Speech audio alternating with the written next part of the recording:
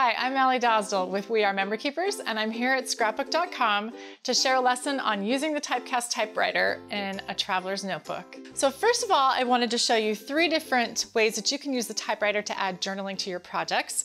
The first way is that you can actually type on a photograph, and I've done that right here, and I'm gonna show you how to do that on the machine.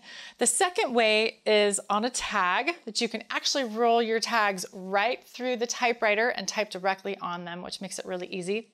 And then the last thing I want to show you is how to use the different color ribbons um, to emphasize um, important words in your journaling. And that just adds a nice fun touch to your journaling in your project. So you can use pretty much any photo you want. I've got Instax, you could use a four by six photo, um, whatever you'd like. And you're going to just roll this down through the typewriter and make sure that it gets underneath this bar that will hold it in place. Let's get that over. And then what I like to do is I like to use these margin guides to make sure that I don't accidentally type off of my project. And I'm just gonna roll this down and I, I usually try to type over a spot on the photo that's kind of um, clear and plain so that there's not a lot of stuff to um, jumble up with the letters so you can read it clearly. And I'm just gonna go ahead and type right on here and then one more line.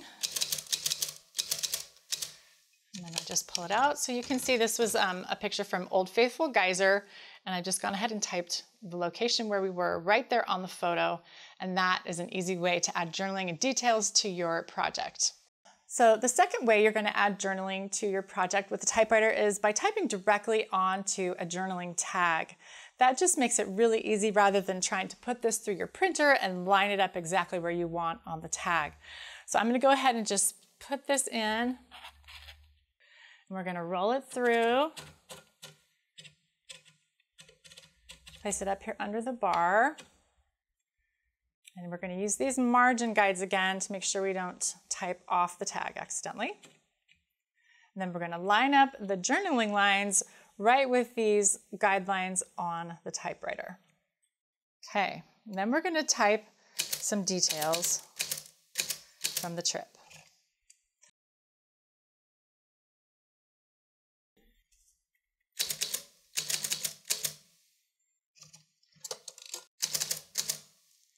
Okay, so now you can see um, how easy it is to just add those details using the typewriter onto your journaling tags.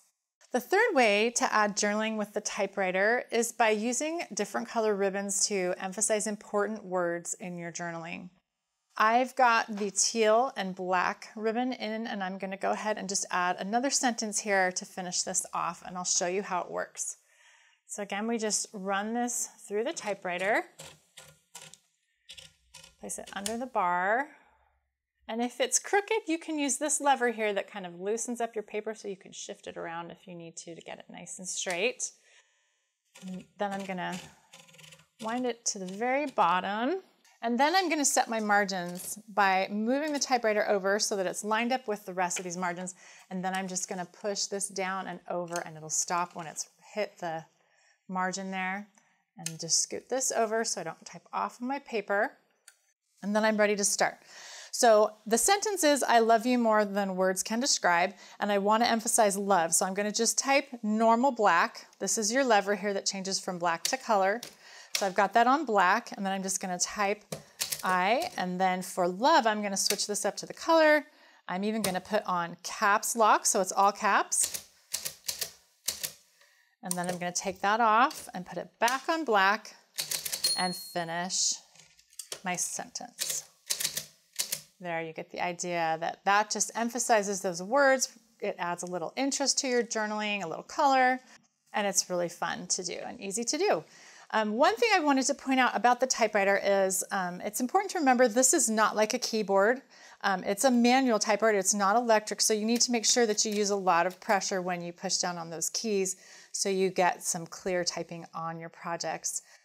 So I wanted to show you some more of the pages from my traveler's notebook um, and just point out some of the fun products that are in the paper collection. Um, there's tags with beautiful um, rose gold accents that you can type on. They've also made stickers that you can type directly onto, and all you have to do is roll the sheet right through and line it up on the sticker that you want to type your journaling onto, and then peel the sticker and place it on. So that's super easy.